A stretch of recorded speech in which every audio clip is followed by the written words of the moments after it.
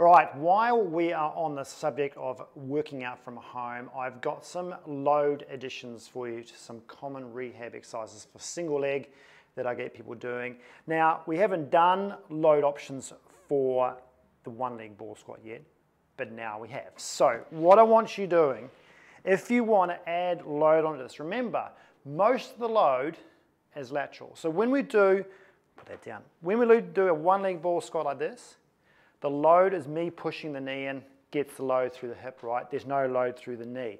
Now this is really good for early rehab because for people who can't load the knee joint, but they need lots of glute and lots of knee control and stability, this is fantastic, okay?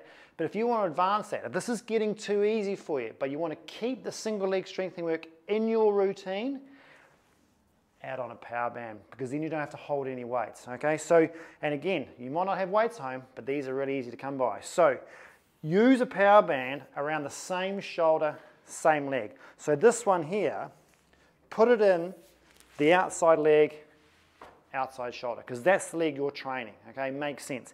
Now, this part here, then that downward pressure is on my knee. So there's my strengthening.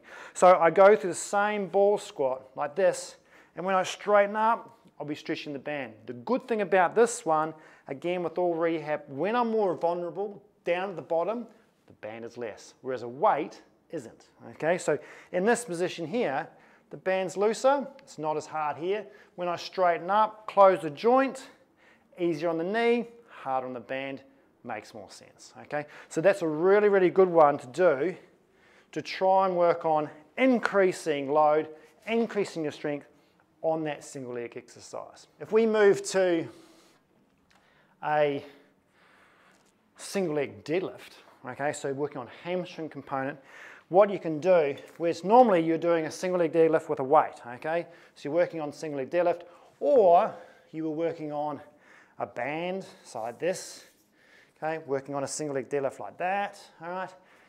Now, if you've got those two nailed, your balance is good, you're working on your control, you don't have any heavier weight at home. So this is for when like, oh, I've only got a 12 or an 8, I can't go any heavier with this what you can do is add on a band.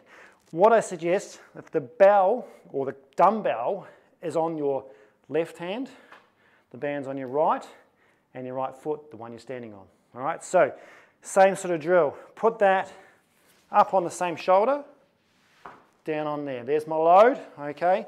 And then my bell is the other hand, which leaves this one free for my balancer. So from this point here, then I can go through my single leg deadlift and come up.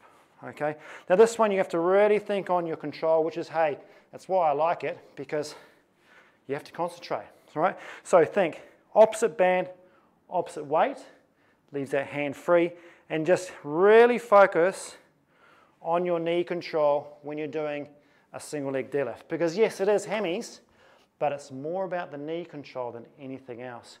So there's another load option for you for your single leg at home. So number three is you can work on a step down or single leg squat with weights with a band. Now, with a single leg squat, what I suggest you is two bells, okay, or two dumbbells. So you keep the weight even when you're doing the squat. And then this one is you're going to cross sling it across you. So it's not on sort of one side. You're going from one foot to one shoulder, sort of keeps you centered, okay?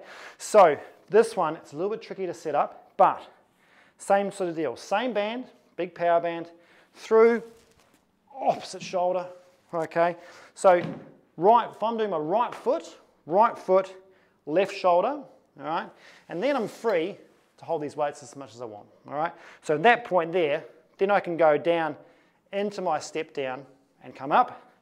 And I've got my continual weight, which is my dumbbells, and my variable weight, which is my power band, okay? So that's a really nice one to do to work on adding a bit more load, especially when you're at home, okay? So adding, adding, you've only got a couple of dumbbells, you want to add more load, add on a band. The beautiful thing about this and the other ones like the one leg ball squat and your single leg deadlift is the, the band that you're adding is a variable load. So again, it's in that rehab sort of realm. As the joint gets more vulnerable, as you go lower, the band gets easier, okay? As you go higher and straighten your leg out, the band gets harder. So it's a nice adjunct to add on to your current sort of level what you're doing. So you're not just adding on mass amounts of weight, you're adding on a variable weight, makes all the difference. See how that goes.